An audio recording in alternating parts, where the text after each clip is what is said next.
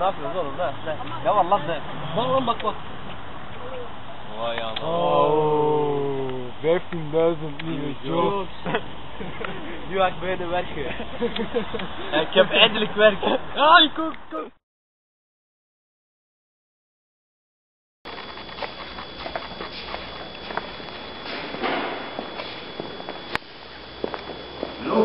Hallo? Doe je? Wat is dat hier? Is dat een jeugdvereniging of wat? Dat is, dat is jeugdhuis hier. Ah. Je zit wel jong. Ik kwam hier even langs om te kijken wat er allemaal gebeurde.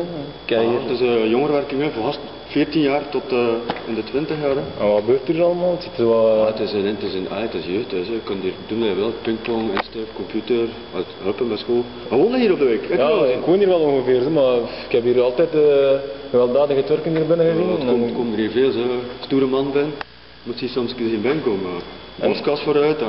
En is het gevaarlijk of wat? Of zijn het... Ja, soms vlieg ik me niet op mijn maaks. ze, ze, ze reist niet met auto's. Hè. Dat meent dat niet. Ja, zo auto's gewoon naast elkaar en langs de vluchtheuvels. Hoe lang werk jij hier ongeveer al? Ik werk hier 9 jaar. 9 jaar tussen de Turkse gemeenschap. Ja, ik heb al veel gezien. Hè. En wat heb je maar meegemaakt? Ik moet me niet altijd op mijn gemak eerlijk moeten zeggen. Nee. Wat is dat maar uitgestoken mee? Kauwgom naar je hoofd gesmeten. Ja, een stoel, een fles. nee. Want dat meent toch niet. Die zijn niet allemaal zo respectvol, hè. Niet allemaal? Maar het er. Wijn, wijn eigenlijk. maar ja. Hij zou ook niet gaan werken. Hè. Ja. Zangen alle dagen op straat rond, zitten in de pitazaak, lachen met u. Allee, als, allee, als het donker is, serieus, ik steek over. Hè. Allee, ik voel me nu, allee, als er dan één man op de hoek van de straat staat, te kijken natuurlijk dat je zo. Allee, ik voel me nu al, ik steek over en ik pak een ander. Ja.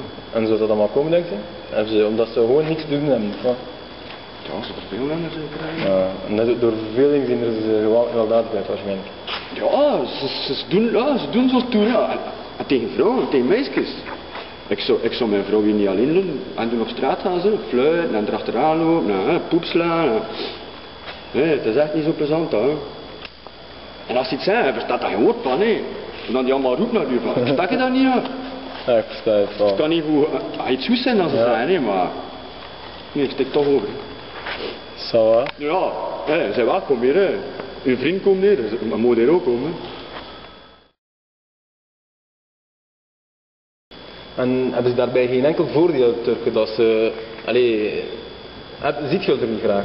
Ja, ja, ik heb graag Turkse mensen. Ik vind dat plezant zo, al die Turkse jongeren op straat. En die Turkse mensen die hier buiten zijn. Allee, bij Belgische mensen zien ze dat niet veel.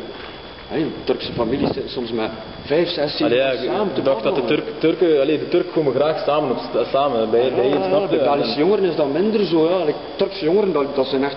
Ik heb soms de indruk hè, dat dat echt meer, eh, betere vrienden zijn dan ze elkaar beter kennen. Ja. En zou de Belgen de Turken ook be- beter moeten leren kennen om, om al die vooroordelen weg te werken? Ja, het zou best zijn, hè, dan is eigenlijk... Allee, nu zijn twee verschillende groepjes, allee, drie verschillende groepjes. Het Belgische, het Turkse, het de Kosovaarse, het Tsjetsjeense.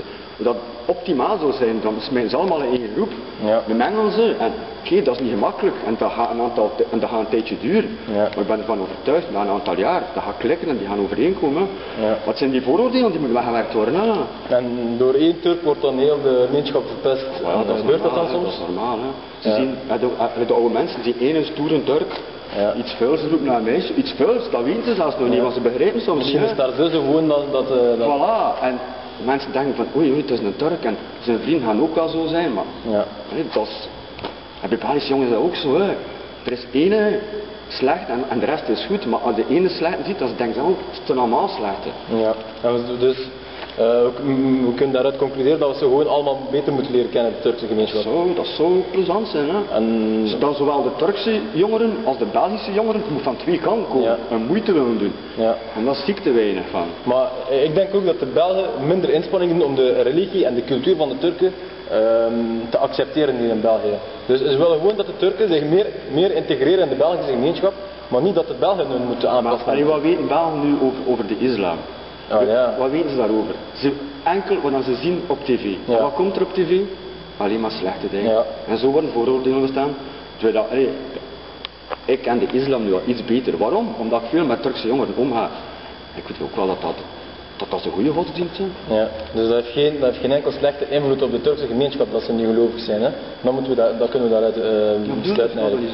Nu eigenlijk ja, ehm, kunnen, ook, ze kunnen er een linkje bij een linkje trekken van dat de, de Turken islamitisch zijn, dat dat slecht is bij, dat dat een slechte combinatie is bij de Turken en de, islam. Dat kan, Mensen denken dat, hè, dat, dat, dat dat niet goed is. Hè. ja, en wat kunnen we daarbij nog allemaal bij vertellen? Dus, Ja, eigenlijk zou het, zou, het, zou, het, zou, het, zou, het, zou het beter zijn voor ons om de islam beter te leren kennen. Hè, maar mensen willen dat niet, om- omdat ze alleen maar slechte dingen kennen. Dus hoe dat we dat oplossen, dat weet ik niet. Hè. ja.